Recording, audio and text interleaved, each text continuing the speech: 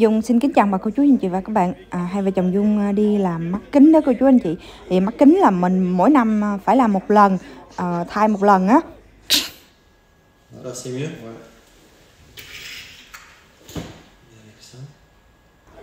Đây là con trai của ông chủ công xã Dung đó à, Cái người mà Dung đi cho măng rừng đó cô chú anh chị đó là con trai có tới 4 cái tiệm mắt kính lần nha. Ok. À, Mình à, mua cái gọng kính á à, mà mắt trồng kính thì mình sẽ phải à, mình phải thay một à, mỗi năm mỗi lần mỗi thay của chú anh chị vì trồng kính xài á và kỹ cỡ nào nó cũng bị trầy hết trơn á. Mà cái gọng kính ở đây á là thường thường là 129 ơ nhưng cô chú anh chị. đó, mà còn hiệu mắc tiền á là ba trăm mấy bốn trăm năm trăm đổ lên. Không mà mấy cái hàng hiệu như uh, Dior, Chanel hay là ờ, nói chung là mấy cái hiệu lớn á là mắc dữ lắm Si tu as toujours 354 euros de mutuelle, il te resterait 350 euros d'achat. Ça một cái trồng mắt kiến không là 250 ơ nhưng quý anh chị nhưng mà mình đóng bảo hiểm bảo hiểm sẽ trả cho mình ờ, uh, 130 ơ còn lại là 120 ơ là mình phải trả. Đó mà hai cái trồng là 240 ha. Rồi thêm cái cái mắt kính nữa cái gọng mắt kính đó là à, mình chỉ có 179 ơ là mình à, được free thôi.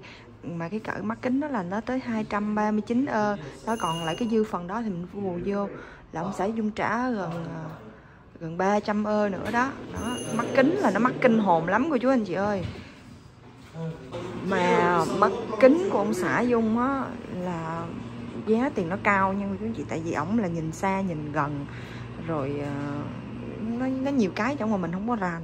Mà tính cộng tính, tính tùm lum tính không á là một cặp mắt kính là 500 ơ.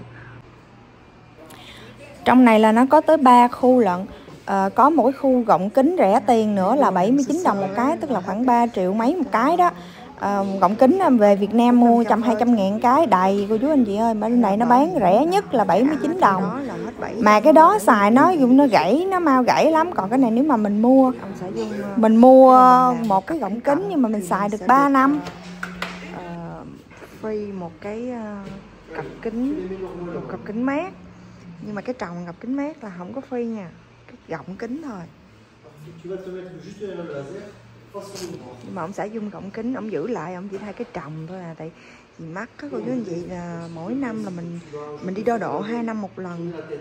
Đó, cho nên là độ nó nó lên, dung bị lên độ đó.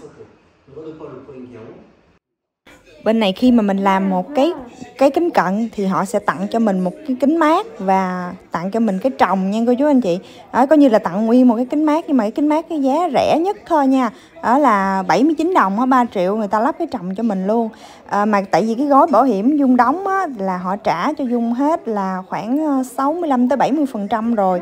Còn lại là ăn thua là do mình lấy cái gọng bao nhiêu tiền thì mình trả cái bù thêm thôi. Họ cho mình một cái gọng là chỉ có tới 179 euro thôi còn nếu mà lấy cái gọng mắc tiền thì mình sẽ phải trả cái phần dư ra à, rồi dung ờ, chia sẻ với bà cô chú anh chị và các bạn đi ờ, làm kính ở pháp nó có rất là nhiều cái cửa hàng kính hiệu kính đó. Cô chú anh chị mà thấy giá tiền nó cũng sàn sàn nhau không à mà có một cái tiệm thì nó ờ, mỗi tiệm thì họ bán những cái hiệu khác nhau Dung cũng xin dừng cái video tại đây và xin cảm ơn bà cô chú anh chị và các bạn rất nhiều đã dành thời gian theo dõi video. Dung xin tạm biệt và hẹn gặp lại trong video lần sau.